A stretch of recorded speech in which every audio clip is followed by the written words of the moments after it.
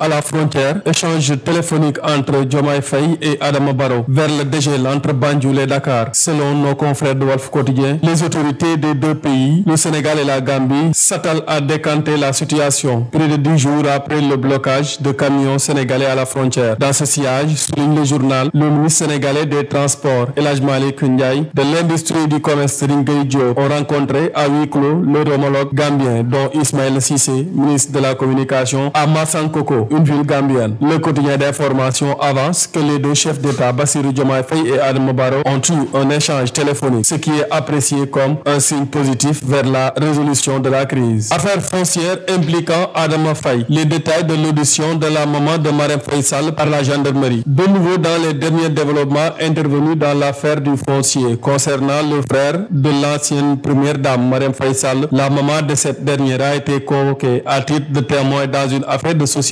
montée depuis 2009, dont Adam Faye est le gérant et qui devait opérer un morcellement foncier qui a enregistré un plaignant. Les éléments de la section de recherche se sont finalement déplacés chez la maman pour l'entendre sur cette affaire. Selon nos informations, la maman de l'ancienne première dame dit être certes une actionnaire, mais ignore les transactions faites par la société dans le cadre de l'exécution de cette affaire. Malgré son âge avancé, la dame entendue chez elle avait décidé de répondre à la convocation de la section de recherche, même si elle n'est pas la principale concernée. Trafic de cocaïne, la chambre d'accusation confirme la liberté provisoire d'Abdoulaye Sek. De nouveau dans l'affaire du fils de l'ancien premier ministre Drissa Sek qui a été arrêté pour trafic de drogue dure après son audition. Dans le fond, Papa Abdoulaye Sek avait bénéficié d'une liberté provisoire au mois de juillet dernier, mais le procureur s'était opposé à sa libération en interjetant appel. À cet effet, les avocats du fils du patron de Réumi avaient saisi récemment la chambre d'accusation. Cette haute juridiction vient de confirmer l'ordonnance du juge d'instruction du troisième cabinet à appris Sénégal de son avocat maître Aline Badrafal. Au final, Papa Abdoulaye vient d'obtenir la liberté provisoire assortie d'un contrôle judiciaire, mais il séjourne toujours en prison parce que l'administration pénitentiaire n'a pas encore reçu la notification de la décision de la chambre d'accusation. Sur l'international RFI, on parle ce mercredi sur son antenne au Burkina Faso. Cinq magistrats ont reçu un ordre de réquisition pour servir l'armée au front contre les djihadistes et les groupes armés. Dans la presse, leur nombre varie selon les quotidiens. Ils sont deux pour le Faso.net, selon aujourd'hui ou 5 plus le quotidien sénégalais. En tout cas, ils devront rapporter 5 plus participer aux opérations de sécurisation du territoire du groupement des forces de sécurité du Nord à du 14 août au 30 novembre. Or, ironise aujourd'hui, les magistrats, on le sait, sont d'habitude plus rompus à manier le verbe et la règle de droit dans toute sa vigueur que les armes et les balles assassinent. Beaucoup accusent le régime d'Ibrahim Traoré certaines figures en les envoyant au front, écrit Saint Plus, et cette décision, selon certains observateurs, viendrait du fait que les magistrats ont pris des décisions contre les proches du pouvoir. Une décision pas au goût du tribunal de Bobo Djoulasso, qui rapporte le Faso.net, a déclaré illégale la réquisition de deux des magistrats parlant d'ordre manifestement illégaux qui portent atteinte aux libertés fondamentales des personnes concernées. Le tribunal condamne entre autres l'État à payer un million de francs CFA aux requérants et puis les talibans célèbrent aujourd'hui trois ans de règne sans partage sur l'Afghanistan avec un défilé militaire sur la base de Bagram et un rassemblement populaire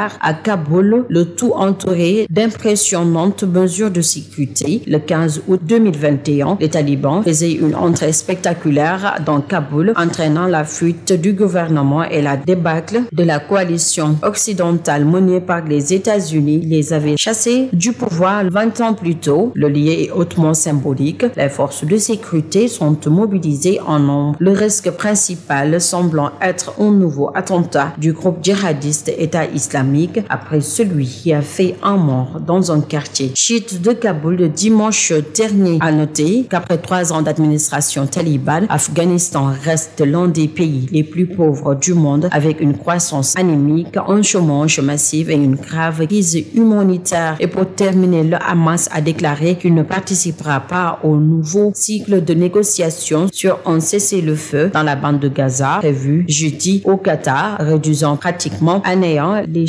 de parvenir à un accord susceptible d'éviter une riposte militaire de l'Iran contre Israël. Les États-Unis ont dit s'attendre à ce que les discussions indirectes se déroulent comme prévu à Doha, la capitale du Qatar, mais selon le site d'information américaine, le chef de la diplomatie américaine, Anthony Blinker, a reporté son voyage au Proche-Orient qui devrait débuter ce mardi. Le ministère de la Santé du gouvernement du Hamas dans la bande de Gaza a annoncé aujourd'hui un nouveau bilan de 39 965 morts dans le territoire palestinien depuis le début de la guerre avec Israël, entré dans son onzième mois.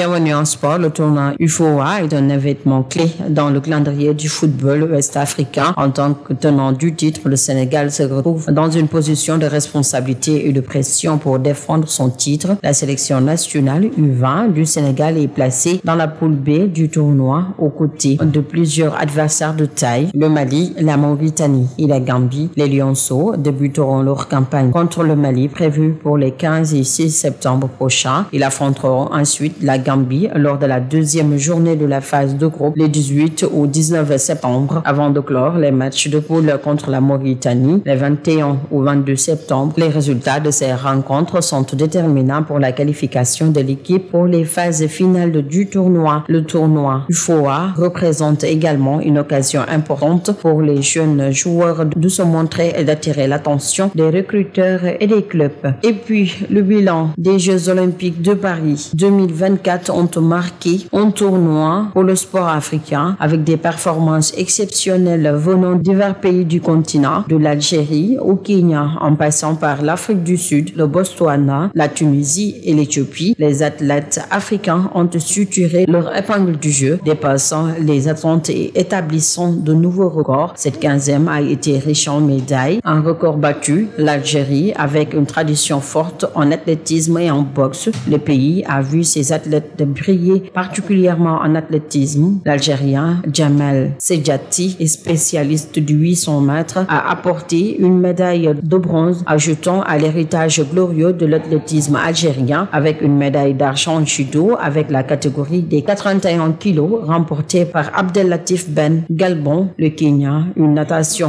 déjà bien connue pour ses exploits en athlétisme, Fait Kipyengo, qui a marqué l'histoire en remportant une troisième médaille d'or consécutive sur 1500 mètres. Le jeune Emmanuel Wanyoni a également parlé de lui en décrochant l'or sur 800 mètres. Le pays a également brillé dans les courses de fond avec des médailles d'argent et de bronze sur 5000 mètres et 10 000 mètres. Le relais 4 fois 100 mètres masculin a été l'un des points culminants pour l'équipe sud-africaine qui a décroché la médaille d'argent dans une course serrée en natation. Tadjana Maker a confirmé son statut de favorite en remportant une médaille d'or sur 200 mètres brasse. Le Botswana, déjà médaillé d'or sur 200 mètres, Tebogo a mené son équipe à une médaille d'argent sur le relais 4 x 400 mètres. La Tunisie a brillé lors de ces Jeux olympiques grâce à Firas Satoussi qui a remporté la médaille d'or en taekwondo. La Tunisie a continué à exceller avec une médaille d'argent remportée par Osama Melouli sur 10 km en eau libre à 40 ans.